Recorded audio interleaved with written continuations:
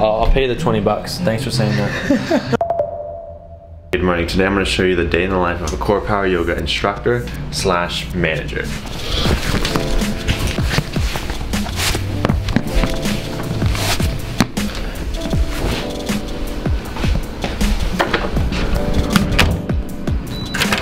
These are just my views, not the company's.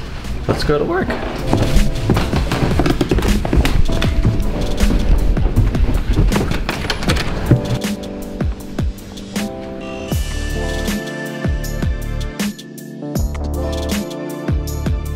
Look behind me, I guess you can't see right now, but there's a lot of traffic. Most important thing is walk to work every day. I used to skate, but now I'm just walking because I sold that skateboard. There's always a line of cars right at 9 a.m.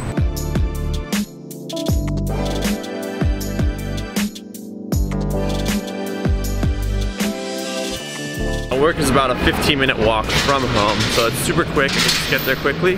And I, I go to work at random times during the week, depending on who needs to be there at what times of day.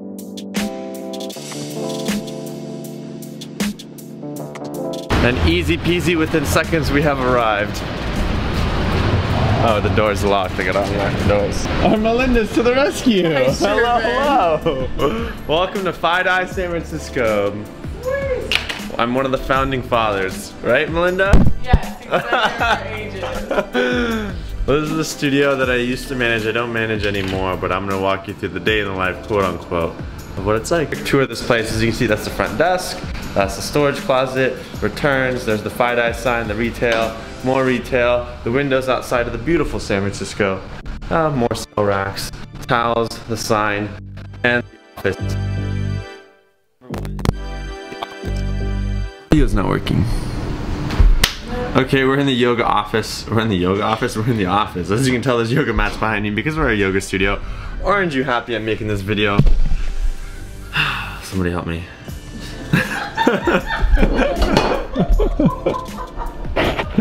Oh man.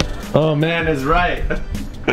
but in this office, we got the printer, we've got office supplies, we got all the things we need to make get the work done. And the reason that we show up at different times of day is because different, there's multiple managers and they conquer the whole map of the opening hours as a team. And some days you'll be in at 6, some days you'll be in at 3 p.m. It just depends on the day. But you still get in usually 8 hours to 10 hours a day.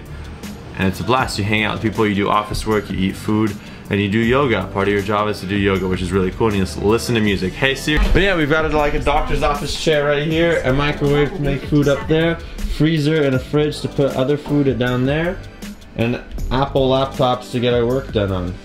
Oh, I got four minutes to my meeting. I better stop making this video.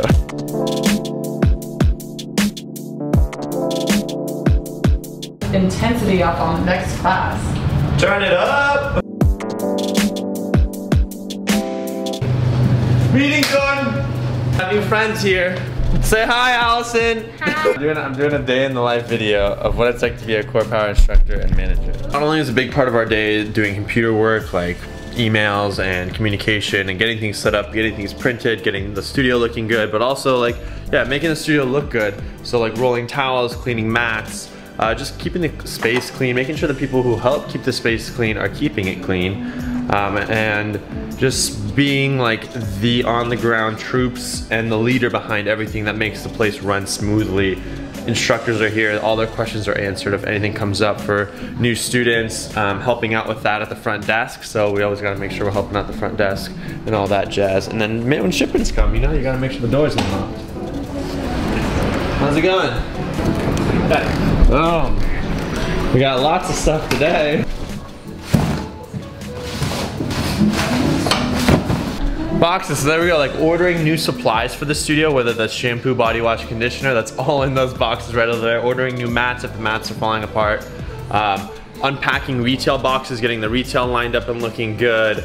Uh, making sure the mat towel return bins are all empty and uh, the space looks clean, music is playing, the speakers work, and the hallways are nice.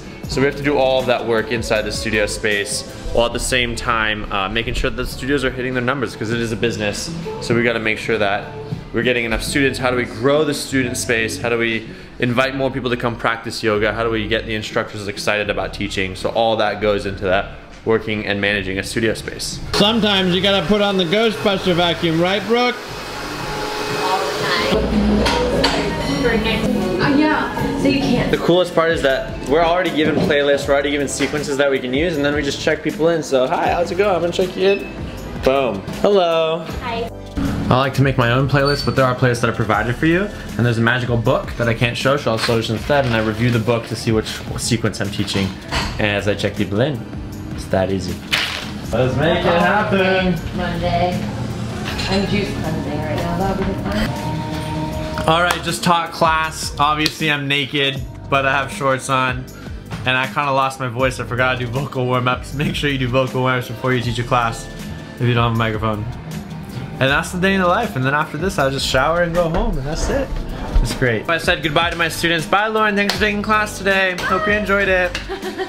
And then they walk out the door.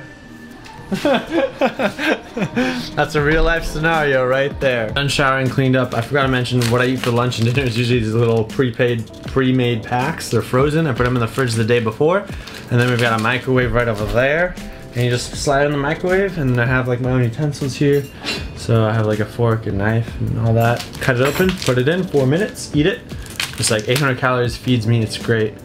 And that's how I eat on a daily basis. Not ideal, but it's better food than like processed food, but it's super convenient. Today's a monumental day, so I gotta record it. I just made it on Lululemon SF's Instagram. Sounds so dumb, but it's okay. This part is my hand made it on Core Power Yoga's Instagram.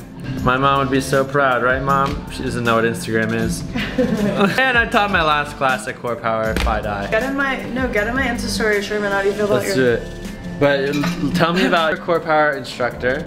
Yes. What do you like about teaching at Core Power? I'm just like, what's your, what's the day, what's the two hours like of teaching? It's my favorite part of the day. I get to see all my best friends, and I also get to teach students that share the same passion as me, and it makes me happy. Nice.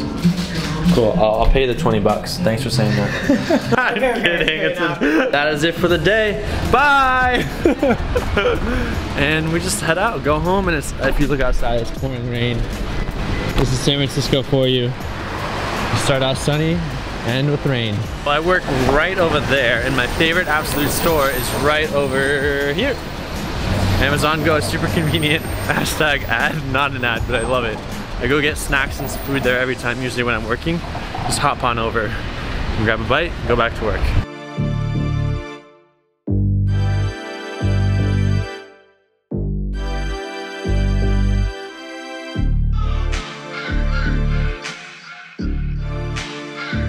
Best part about walking home is I gotta walk past Transamerica building. And the worst part is I gotta walk up this hill.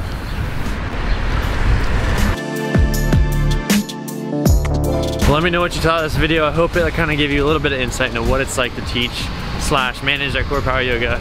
It's kind of quickly put together, but a little bit of insight, my perspective, my view of living in San Francisco and doing that. I wish I showed more, I don't know. Hope you enjoyed it. Let me know in the comments. Like, subscribe. I'll see you later. Peace. how legends are made. Wow, I can't talk.